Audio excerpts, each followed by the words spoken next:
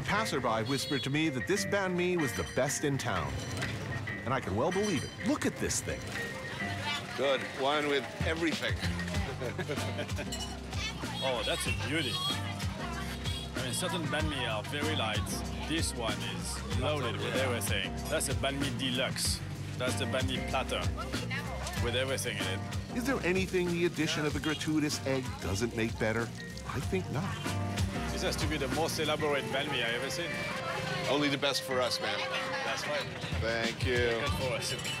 There's your half, my friend. Oh, yeah. Look at that goodness. Oh, yeah. So what, you got your little, like, liver pate on the bottom, right? I said there are cucumbers. There's kind of ham. Uh, kind of ham. There's all little ham. Fish, fish base. There is the dressing. There is the mayonnaise. It's endless. That's a symphony in a sandwich. And a complicated symphony at that. And the liver pate there gives it a kick that is really impressive. The baguette alone is something of a miracle. How do they stay so crunchy, crispy, and fresh on the outside, so airy, so perfect in the inside? So you got your baguette and your pate, French. But a long way from France to here. That's why There's- there is a real balance of every ingredient. I think we kind of went over the top of the egg, too. But you only go round once. Oh, this is the best. And you get the news too. Ooh, Sammy Hagar's in town.